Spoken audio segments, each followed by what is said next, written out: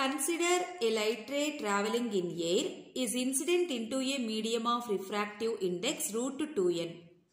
The incident angle is twice that of the refracting angle. Then the angle of incidence will be. In given question, initially light ray traveling in air.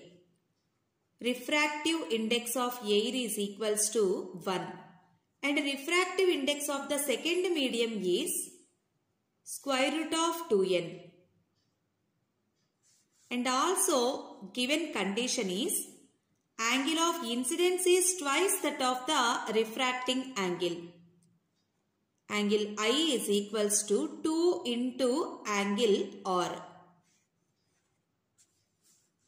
In this question, we have to find out the angle of incidence. When a light ray travels from rarer medium to the denser medium, angle of incidence is I and this light ray refracted at the interface. Angle of refraction, let it be R. Apply the Snell's law at this interface. Mu 1 sin I is equals to mu 2 sin R. In place of mu 1, take 1.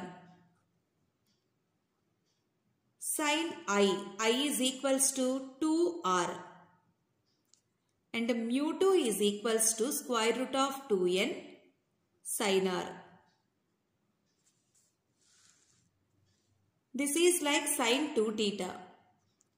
Sine 2 theta is equals to 2 sine theta into cos theta. 2 sin r into cos r is equals to square root of 2n into sin r. On both sides sin r get cancelled. Cos r is equals to root of 2n by 2.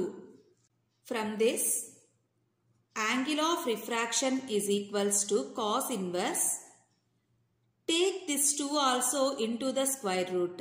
Then it becomes square root of n by 2.